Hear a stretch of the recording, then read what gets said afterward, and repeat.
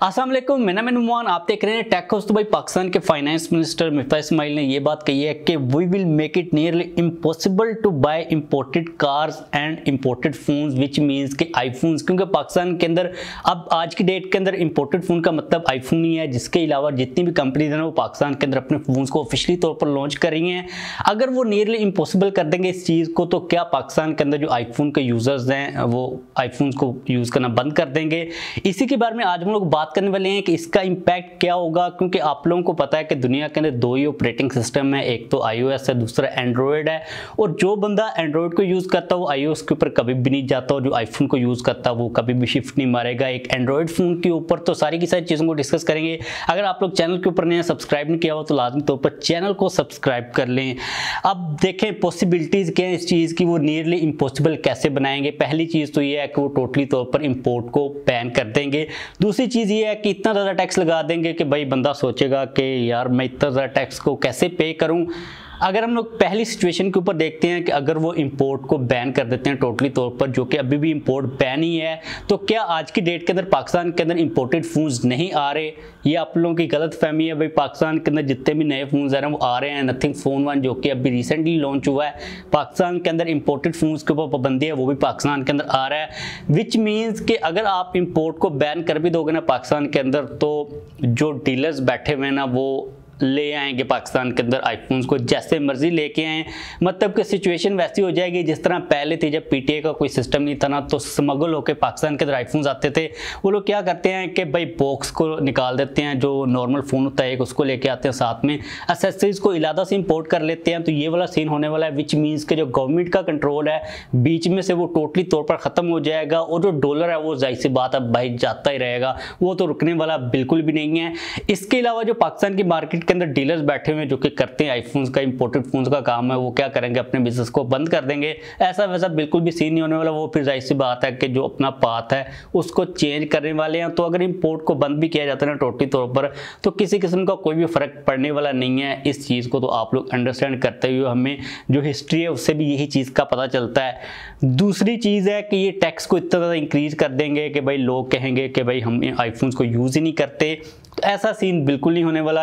अगर मैं आईफोन को यूज़ करता हूँ ना तो मैंने आईफोन को ही यूज़ करना है।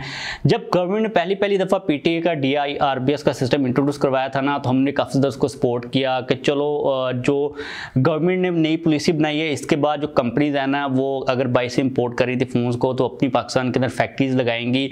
अब सारी की सारी कंपनीज़ आ चुकी हुई हैं एप्पल पाकिस्तान के अंदर नहीं आया तो क्या एप्पल पाकिस्तान के अंदर अपनी फैक्ट्री को लगाएगा, जो पाकिस्तान के अंदर सिचुएशन चल रही है, उसके ऊपर देखकर आप लोगों को लग रहा है कि एप्पल पाकिस्तान के अंदर आएगा।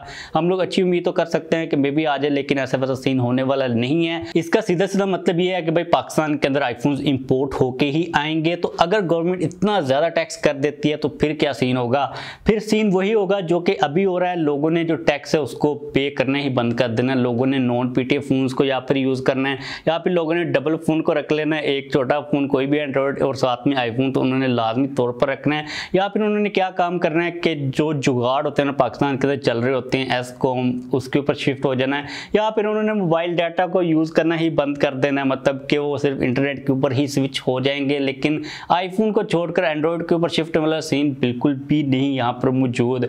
तो इसका मतलब अब क्या यहाँ पर कि गवर्नमेंट को फिर भी टैक्स नहीं जाएगा। जो डॉलर है वो बाहर जाता ही रहेगा। तो ये वाला पूरा सीन होने वाला है। अब अगर हम लोग यहाँ पर इस पूरी सिचुएशन के ऊपर ओवरऑल देखते हैं और इस डिसीज़न के बारे में ओपिनियन को क्रिएट करने की कोशिश करते हैं कि क्या ये वाला डिसीज़न ठीक है कि पाकिस्तान के अंदर आईफोन्स को नियरली इम्पॉसिबल कर दिया जाए लोगों के लिए कि वो ऑफिशियल तरीके के साथ उसको लेके आए, क्या एक ठीक डिसीज़न है?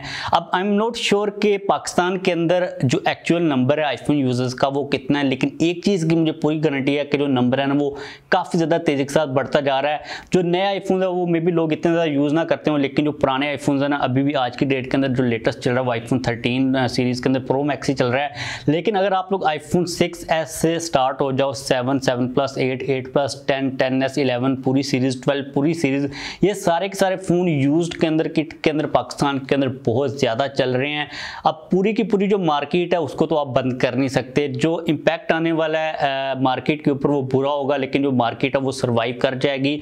जो गवर्नमेंट का डॉलर को रोकने का सीन है ना, वो मुझे इस लिहाज से ये वाली स्ट्रेटजी अच्छी नहीं लगती, क्योंकि अगर आप लोग पहले देखो ना तो इन्होंने पहले टैक्स लगाया, फिर उसको बढ़ाया, फिर उसको मजीद बढ़ाया। इनको लगा कि ये अब नहीं रुक रहा, लोग नहीं रुक रहे तो इन्होंने क्या किया? इम्पोर्ट को भी बंद कर दिया, लोगों ने फिर भी इम्पोर्ट कर ही लेने फ़ोन तो मुझे लगता है कि ओवरऑल काफ़ी एक वियर्ड चीज़ है, ये काम बिल्कुल भी नहीं करना चाहिए। डॉलर ने तो रुकना नहीं है, उन्होंने बाइक जाना ही जाना, ना लोगों ने अपना जो आईओएस है, उसको शिफ्ट करना एंड्रॉयड के ऊपर तो आपको इसको चैनलाइज करने की ज़रूरत है। लाइक आप जितना भेज रहे हो, उतना बिज़नेस डेफिनेटली आ ही रहा है। तो इसके बारे में आप लोगों की क्या ओपिनियन है? आप लोग नीचे कमेंट्स के अंदर बता सकते हो। अब पहले भी इस गवर्नमेंट ने इस किस्म के डिसीज़न लिए हैं जो कि काफ़ी ज़्यादा लाइक स्टूपिड टाइप के थे। तो मुझे ये लगता है कि ये काफ़ी वियर्ड चीज़ है। इसको सपोर्ट नहीं करना चाहिए। गवर्नमेंट ने उल्टा अपना ही नुकसान करना है। बिज़नेस का नुकसान होगा। यूज़र ने तो कोई ना कोई तरीका ढूंढ ही लेना है। आप लोगों की क्या ओपिनियन है इस चीज़ के बारे में? लाजमी तो नीचे कमेंट कीजिएगा। जैसी कोई नई अपडेट आएगी, आप लोगों के साथ में शेयर कर दूँगा, क्योंकि ये ऐसे पहले कोई शोशा छोड़ देते हैं, बाद में वो होना है या नहीं होना, वो तो बात की बात है, लेकिन अभी इसके ऊपर डिस्कशन वगैरह चल रही है। अपनी ओपिनियन लाजमी तौर पर नीचे, अपनी ओपिनियन लाजमी तौर पर नीचे कमेंट्स के अंदर शेयर कीजिएगा, और इस वक्त जो सिचुएशन है वो ये चल रही है भाई, पाकिस्तान के अंदर लाइट चली जाती है तो इस वीडियो को खत्म करते हैं। लाइक कर दीजिएगा वीडियो को चैनल को सब्सक्राइब नहीं किया हो तो लाजमी तौर पर चैनल को भी सब्सक्राइब कर लीजिएगा।